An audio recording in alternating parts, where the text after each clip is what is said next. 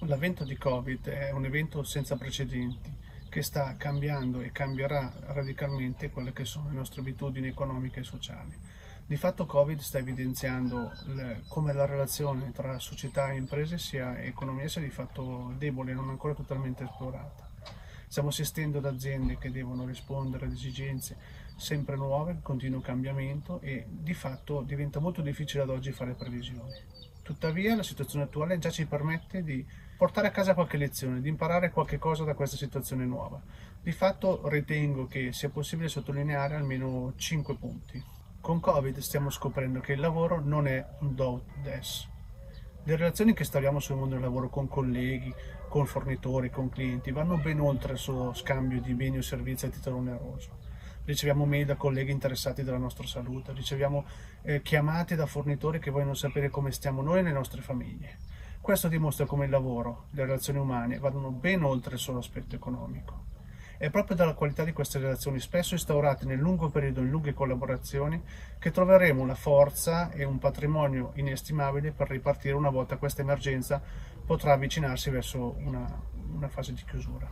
La seconda lezione che stiamo imparando è che le aziende non hanno l'unica responsabilità del profitto, lo stiamo imparando in modi differenti. Abbiamo aziende che hanno deciso volontariamente di chiudere per tutelare i più fragili anche quando la chiusura non è obbligatoria.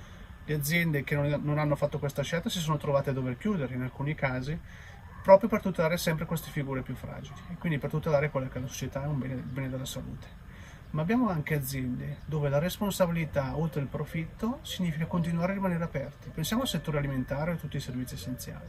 Queste aziende stanno con fatica quotidianamente lavorando per produrre bene noi di nostra necessità e lo stanno facendo anche riconoscendo economicamente, quindi sacrificando il profitto, un valore economico anche ai lavoratori che si sono resi disponibili a prestare servizio durante questo periodo non semplice e quindi mettendo in parte anche a rischio la propria salute. Un terzo elemento è la necessità di ripensare i modelli organizzativi attuali.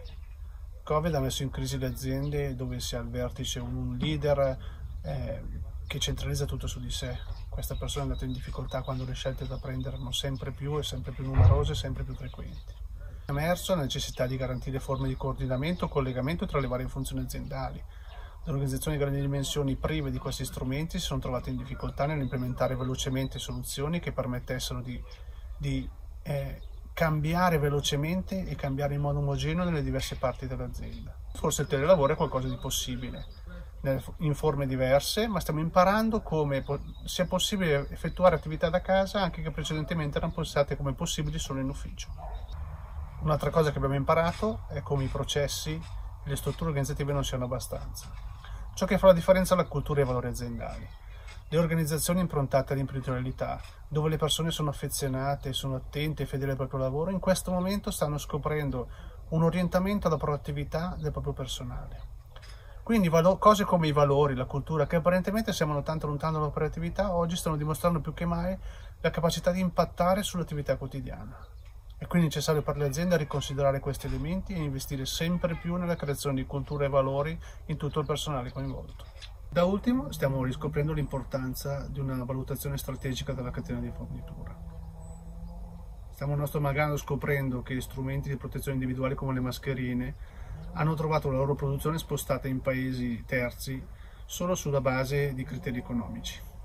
È quindi necessario ripensare la propria catena di fornitura, valutando non solo la dimensione economica, ma anche i tempi di fornitura, ma soprattutto cercare di proteggere la fornitura di beni o servizi critici a livello aziendale per l'azienda stessa, ma anche a livello paese per l'andamento dell'economia e per la tutela di beni essenziali quali appunto la salute.